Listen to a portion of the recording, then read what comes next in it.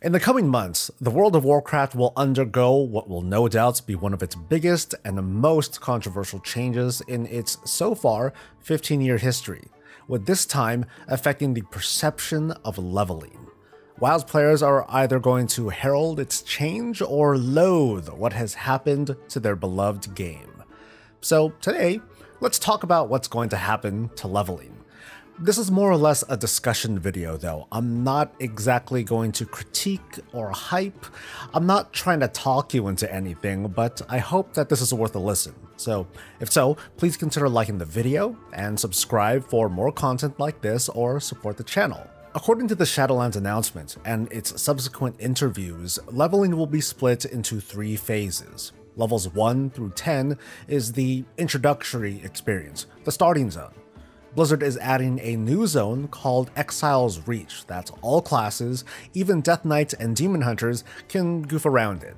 Exile's Reach is a pretty cool addition that modernizes the intro to WoW as well as funnel players together to bring that sense of how we'll all be funneled into new expansion content later in the game. But keep in mind that it's not a replacement for the original starting experiences that you're familiar with. You can choose the way that you want to start. Levels 10 through 50 are going to be a, they're going to be kind of a trip. Blizzard unofficially is going to call this Chromie time, and here's what happens. Brand new accounts will be shoved immediately into the Battle for Azeroth expansion after level 10, where those players will level from 10 to 50. This appears to be not an option for those kinds of players, but all of us who happen to have alts can choose between all of the expansions, including vanilla, and level there exclusively. The intended design is to have us complete the expansion's zone content as if we were playing through the expansion when it was current, as in, you know, we would actually play through most of the zones. Of course, if we felt like it, we can jump back and forth through all the expansions, but during this 10 through 50 experience, the entire world is scaled to your level, no matter where you go. That's going to be important later. Once you hit level 50, Chromie time is over. The legacy expansion zones will then scale down to a certain level. For example, according to Patrick Magruder in a Eurogamer interview, he says that after Chromie time is over, all of Pandaria is going to be scaled down to level 35 or so. This action of reverting the expansions down to a certain level progression is with respect to players who enjoy running previously completed content like old raids for transmog, and prefer to blast through it instead of being forced to group up. In many ways, I think this Chromie time thing is pretty cool. Think of players of World of Warcraft Classic who either lost interest or they never played the modern game. Without needing to buy an expansion box, they can start a new character campaign in any of the expansions and get what hopes to be that full leveling experience. That's a pretty sweet deal.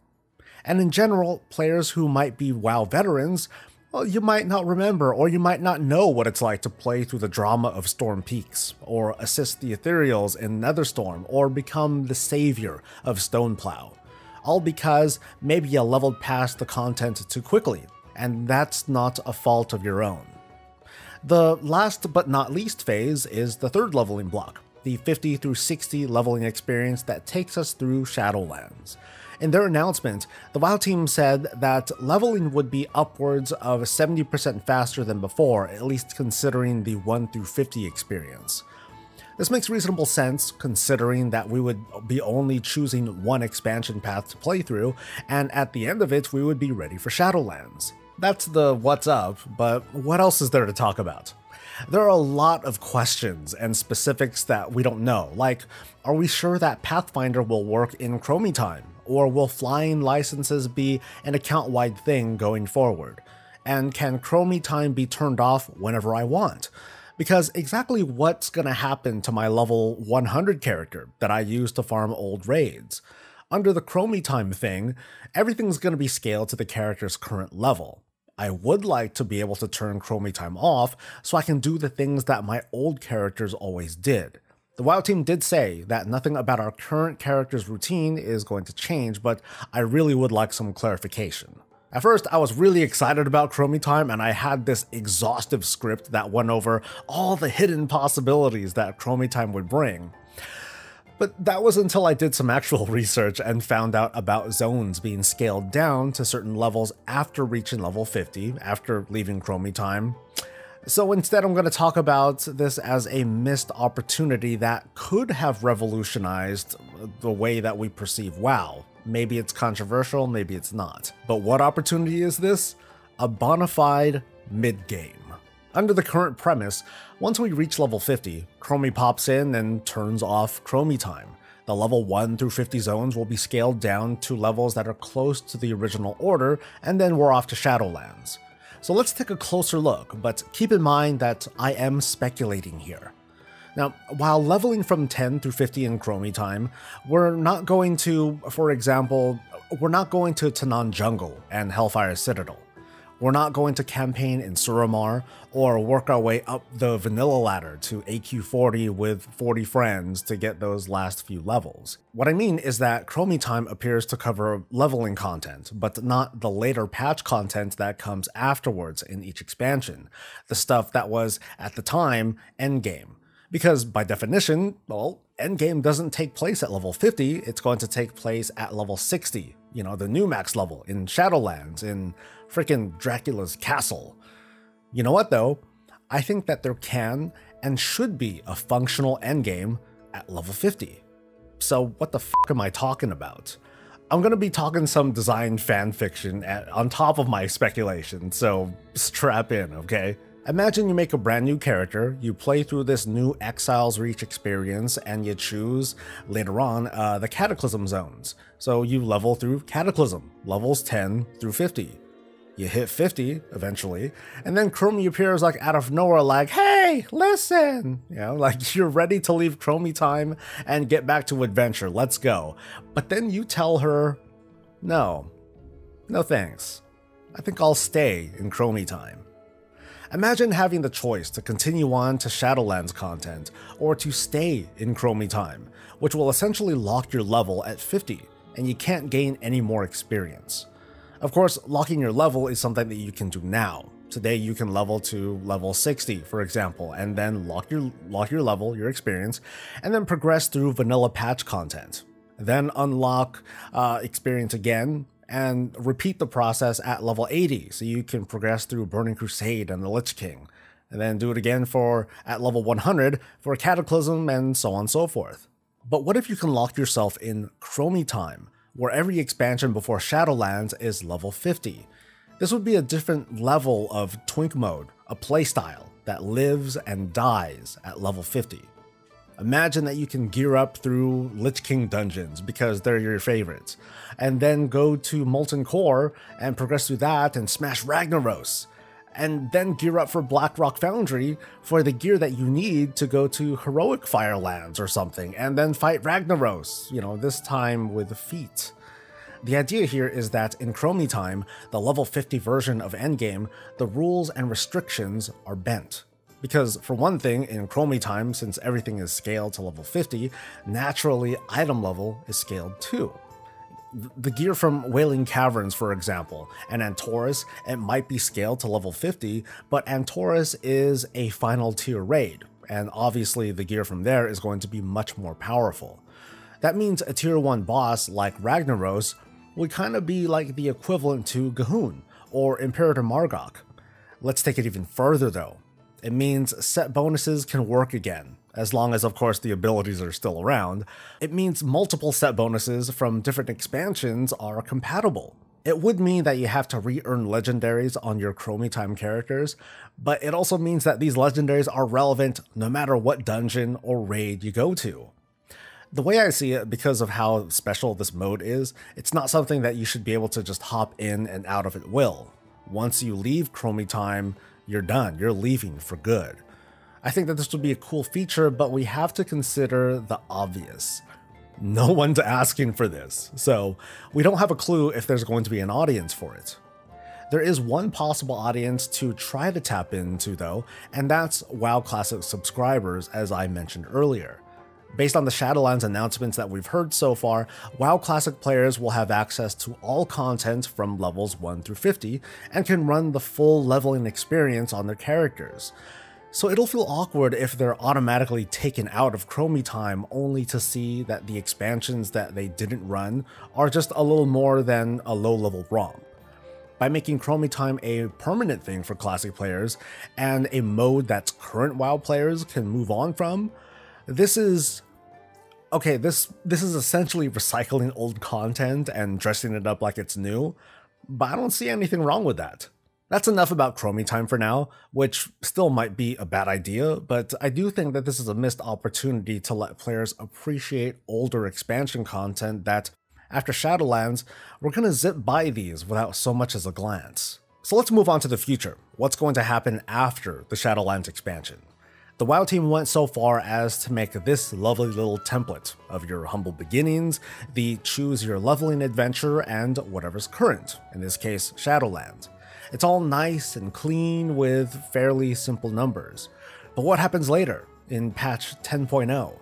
The simple answer would be to add 10 levels, an increase from level 60 to 70. So you have a 1 through 10 intro, a 20 to 50 Chromie time, a 50 to 60 Shadowlands, and a 60 to 70, I don't know, Thrall opens a noodle cart business expansion or something. And, well, that's perfectly possible. Okay, maybe not the Thrall stuff, but the leveling, okay? But it would still be weird, seeing as how the efforts at redoing leveling would later be more like a band-aid than a permanent solution. Although Blizzard is pretty notorious for fixing the problems of today without so much of a strategy for tomorrow. But what if they're wising up this time? What if the WoW team intends to reuse this template? And how would it work? Well, if the template is going to be reused, Shadowlands will undoubtedly be lumped into Chromie time. The question then is, what will the level bracket be? Will it still be 10 through 50? Or will it be 10 to 60? Because at least for the moment, we don't quite know what levels will mean in Shadowlands, other than to pace the story content, similar to how WoW Legion and Battle for Azeroth worked out. If Chromie time is going to change from 10 to 50 to 10 to 60, there's either going to be nothing earned from levels 50 to 60, which pretty much reintroduces the original problem Blizzard was trying to solve, or whatever you get while leveling is going to be spread across 50 levels instead of 40. I get that this sounds confusing, talking hypotheticals based on content we haven't seen yet, but looking at it this way feels messy. We also have to consider further down the road, two to three expansions from now, is this template going to hold up? I do have another idea for this template, which is also very messy and difficult to explain, but it's one that at least holds a better job, or I'm sorry, it does a better job of holding up over time. So check this out. Shadowlands is going to be added to Chromie Time, but the Chromie Time bracket is going to remain unchanged. Meanwhile, character levels are going to be squished again, bringing players back down to level 50. The new expansion has a max level of level 60 once again, and this cycle repeats every expansion. This already sounds very strange, and to start with, the thought of WoW permanently as a 60 level MMO is really awkward. It's gonna have a very Groundhog Day kind of feel if every two years our level is reset back to 50. Then again, this sort of already happens, thanks to the way combat ratings like crit and haste have to be recalibrated every expansion. Otherwise, secondary stats would inflate. I mean, imagine if in Shadowlands you need three times the crit rating to have the same crit chance that you have now because math? Whatever.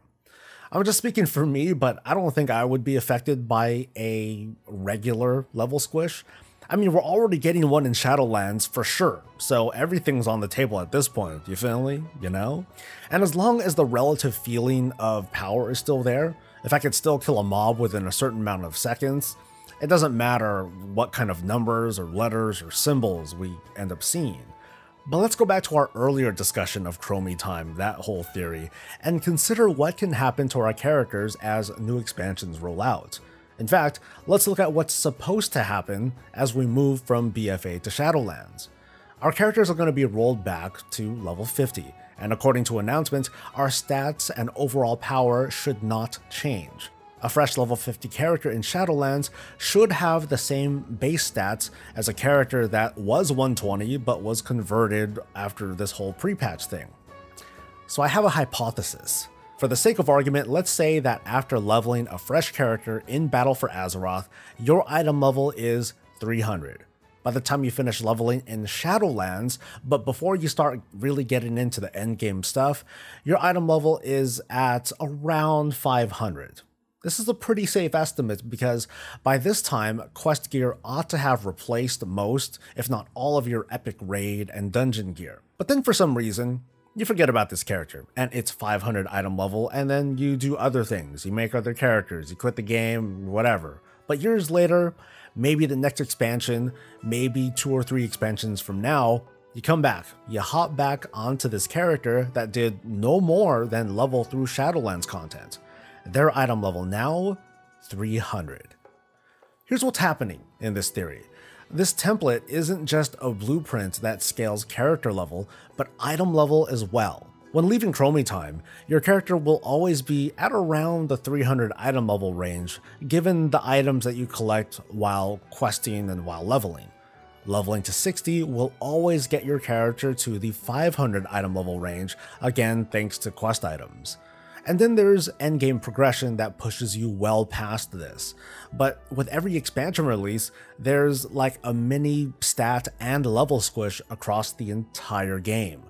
This scaling can work even with characters that you played throughout an expansion. So using a geared character as an example, once the next expansion rolls around, their item level would be scaled down to 450 or so, which is still much higher than the item level 300 that you would get from leveling, but you still end up replacing gear in the next expansion.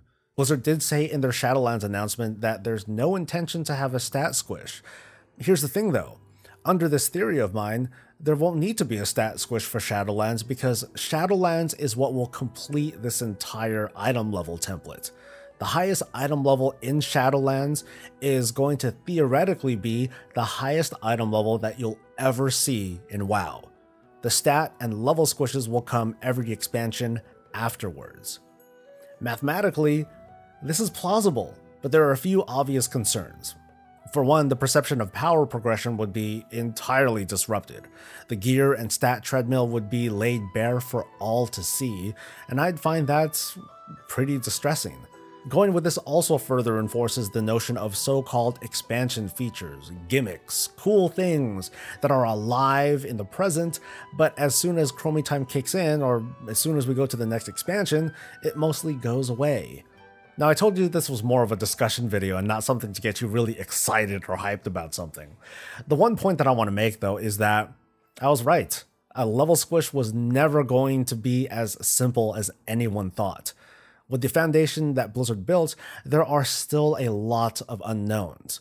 Maybe we'll find out more in the next week or so, but I'd like to hear from you, listener person. What sorts of hopes and concerns do you have for leveling in the new World of Warcraft? Share it in a comment below, and otherwise, we'll see you later. Until next time, stay safe, stay happy, and stay breezy.